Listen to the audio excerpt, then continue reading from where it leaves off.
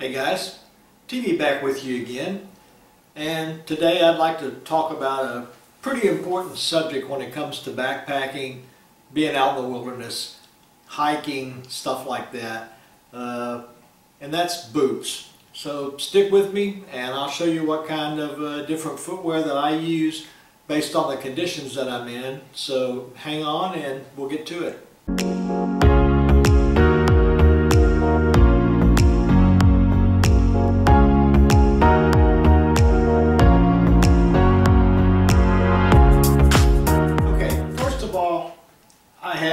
Regular hiking boots, which are North Face boots. These are just standard hiking boots. Um, they work well. Um, they'll take me down to about, you know, close to freezing, you know, below that, you know, 20 degrees, somewhere in that area. And with the right socks, still keep my feet pretty warm and they work great. These have been used a lot. These have seen a lot of snow and a lot of snowshoeing, so uh, you know they hold up really well. And you know the product itself, being North Face, is a lifetime guarantee. So you know on the product itself, you know if you keep them for 20 years, they're going to wear out, and they're not going to replace that. But you know if you have a defect or something breaks on them, they will replace them for free with the equal model or something very close to it. When you go up another step, I go to my North Face Tundra Cats. And um, these will take you down to zero. And um, they're really comfortable. They're super insulated. Um, of course, they're a little heavier than the other boots, but uh, you know these will these are very good in snow. They got they have good traction, and um, you know even if you're walking on sidewalks in a snowy city, um, they'll at least keep you up on your feet pretty well. But they're um, very warm, keep your feet nice and toasty even if you're walking in snow. And um, you know, they're up, come up pretty high on your uh, above your ankles. So uh, you know, you just keep your pants legs down around them and they work really well. Great boots, love them. Now, if you want to go into extremes, these are my extreme boots. These are my Sorel Caribous. Had these for a lot of years. Had these since the uh, late 90s. And these are rated to minus 40 degrees. And uh, the great thing about these are is they're tough, uh, they're waterproof, and they work really, really good in extreme temperatures. I've had these down to minus 21 degrees and Never had a problem with my feet getting cold, ever. Now one thing about the Caribous that you have to know is that they have these liners inside of them.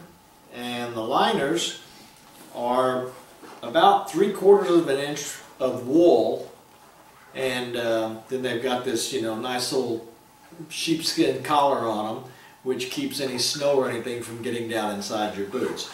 But the one thing about wearing the Sorels is, is if, say you're out, like if I go dog sledding, if you're going to be out for days and days, as you go, your feet are going to sweat inside these boots, especially if you're, you know, being very active like, you know, dog sledding or something. So what you do is you buy an extra set of liners because these just pull out. They're not attached in any way. They just pull out and the best thing to do is at night, you know, put them on a stick or hang them in your tent somewhere and let them dry.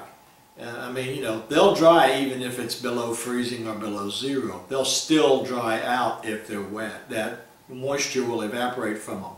And you have to do that. Otherwise, your feet, after a couple of days, are going to start getting, you know, pretty soggy because you're sweating in your liners. So you always have to get a second set of liners and what I do is I swap them each day. And then that allows me to, you know, swap them out, dry them, swap them out. And sometimes I'll even stick a, at night, you know, around dinner time, I'll stick a stick in the ground, uh, two sticks in the ground close to the fire, and I'll stick my boot liners on those and I'll dry them out. And um, that makes sure that your feet always stay warm, especially if you're way below zero, which is you know where I go sometimes. But um, like I said, these the Sorels are rated to minus 40 cent- uh, Fahrenheit, and uh, they work very very well. But from the North Face hiking boots to the Tundra Cats to the Sorels, you have to base your footwear on what conditions you're going to be in. And if you're going to be in really cold conditions, you've really got to watch what footwear that you're going to take on that trip because you've got to keep your feet warm. The old saying I was taught many, many years ago when I started backpacking was if your feet get cold, you're in trouble. Because once they get cold, it's really, really hard to ever get your feet to warm back up once they get really, really cold. So anyway, that's just a few tips, you know, something I've gained over the years of uh, backpacking and, you know, all the different conditions that I go out in, you know, anywhere from New Mexico to northern Texas to, uh, you know, the central United States and Colorado, places like that, and then all the way up to northern Minnesota, you know, just south of the Canadian border on a dog sled.